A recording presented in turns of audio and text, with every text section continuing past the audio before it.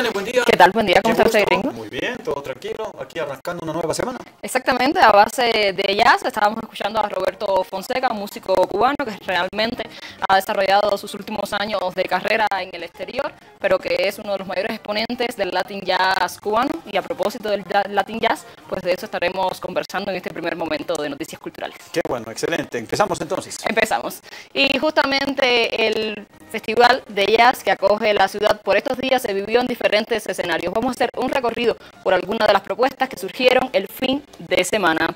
Decíamos que el Festi Jazz tuvo como espacio principal el Teatro Doña Albina este fin de semana y acogió a varios artistas nacionales e internacionales. Entre ellos a Ever Paredo Trío, formado en el año 2014 con Raúl Flores en el bajo y Juanjo Flores en la batería, interpretando composiciones originales y arreglos de estándar de jazz con un concepto vanguardista propio e innovador de la mano de elementos e inspiraciones de la cultura boliviana y latinoamericana. El que está al frente de este trío nació en La Paz, es un pianista, compositor y docente. También como pianista, tecladista y músico de sesión se desarrolló en distintos estilos y géneros musicales. Tocó y grabó en conciertos y producciones y además en otros discos con artistas nacionales como Grillo Villegas, Manuel Monroy, El Papirri, Buddy Barrón, Sin Fronteras, Esther Marisol, Gisela Santa Cruz, Jacket Jazz Project, La Kesi, Efecto Mandarina, Gustavo Orihuela Quartet, entre otras agrupaciones. También el fin de semana Víctor Hugo Mercado Band deleitó de igual manera con importantes interpretaciones.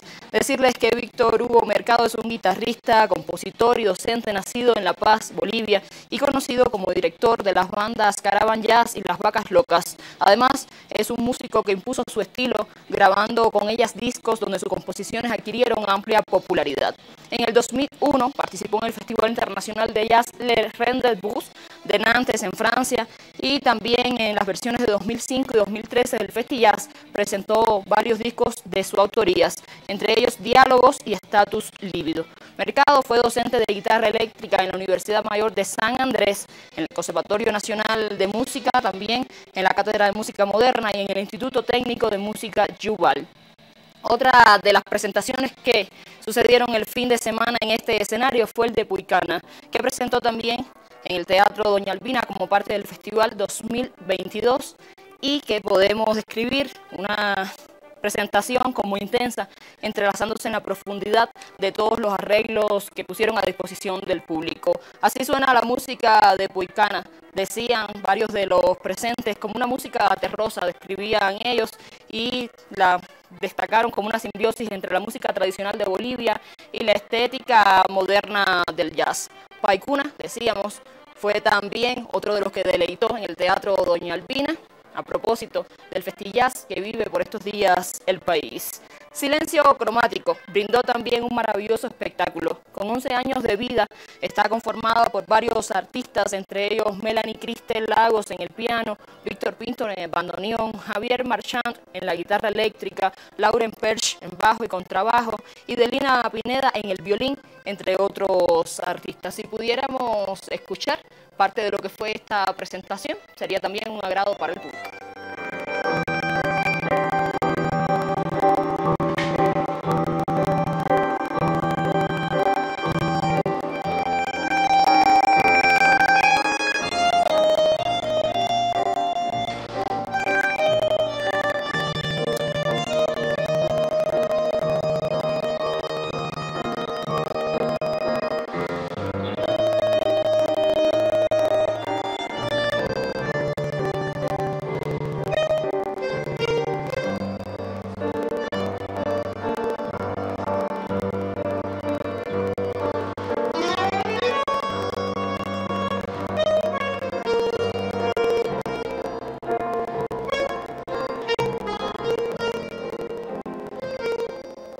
Escuchábamos parte de la presentación de Silencio Cromático. Pudiéramos pensar que no son bolivianos por el sonido que escuchamos, muy apegado a lo que son los acordes de tango y otras melodías también que vienen de Argentina y de Latinoamérica, pero ese es el jazz en sentido general, la interpretación, la libertad sobre un escenario. Y es tiempo de compartir entonces lo que tenemos para la agenda cultural en los próximos días de acá, de la mano de esta primera edición de noticias en Aviala TV.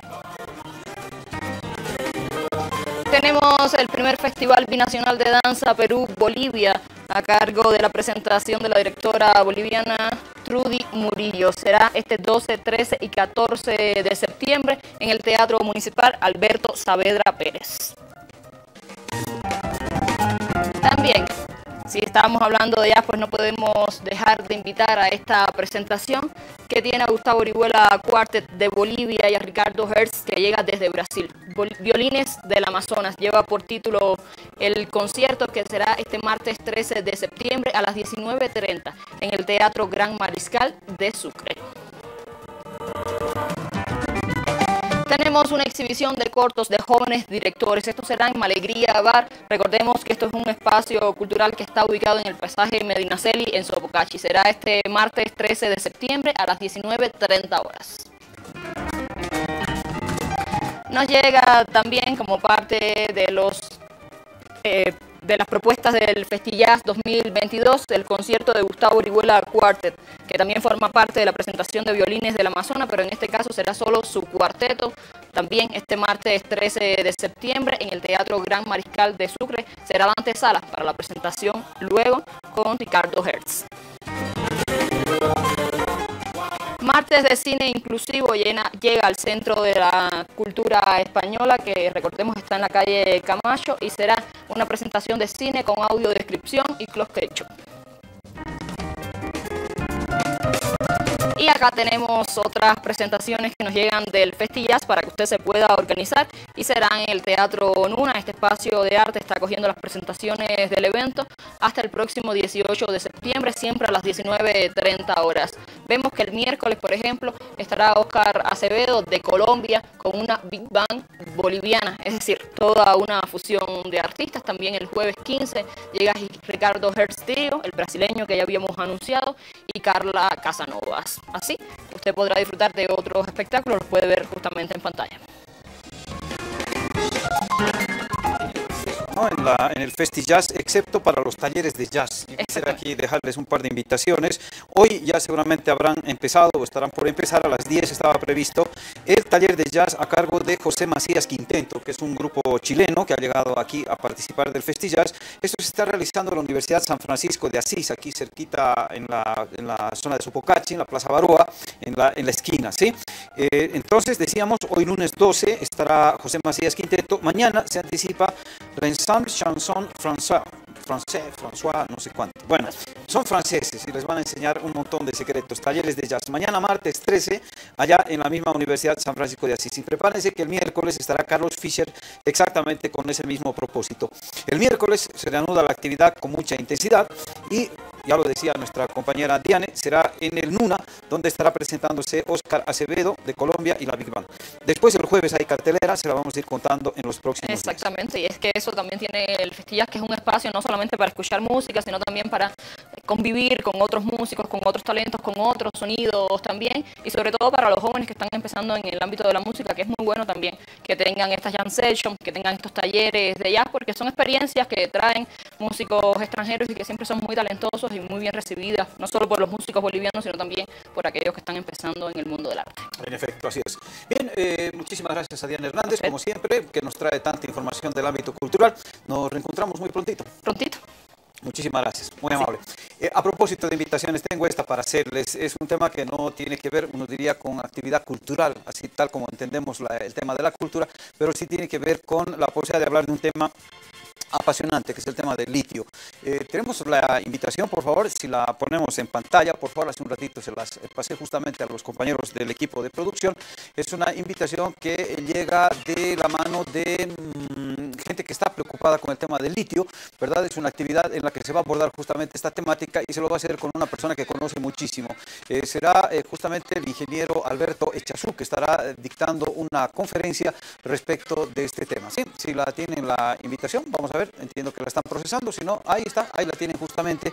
Esa es la invitación que queríamos tenderle. Eh, dice tercera trinchera cultural, así es como se llama la, la, propuesta. Les voy a leer ahora mismo los detalles justamente para quienes estén interesados en esta temática del litio, pues aquí van a tener una muy buena oportunidad. Es un conversatorio con Luis Alberto Echazú. El ABC del litio, así es como lo han titulado, será este martes 13, mañana, se los doy con anticipación para que vayan programando. Va a ser en el Centro Cultural Nairawiri, eh, que queda ubicado en la calle Chichas, esquina litoral, aquí en la ciudad de La Paz. Mañana, reitero, 18.30, el ABC del litio, una conversación con Luis Alberto Echazú. Diálogo político rumbo al Bicentenario, ahí está la propuesta Nairawiri, reitero, el lugar, Centro Cultural, Chichas, esquina litoral, aquí en la ciudad de La Paz.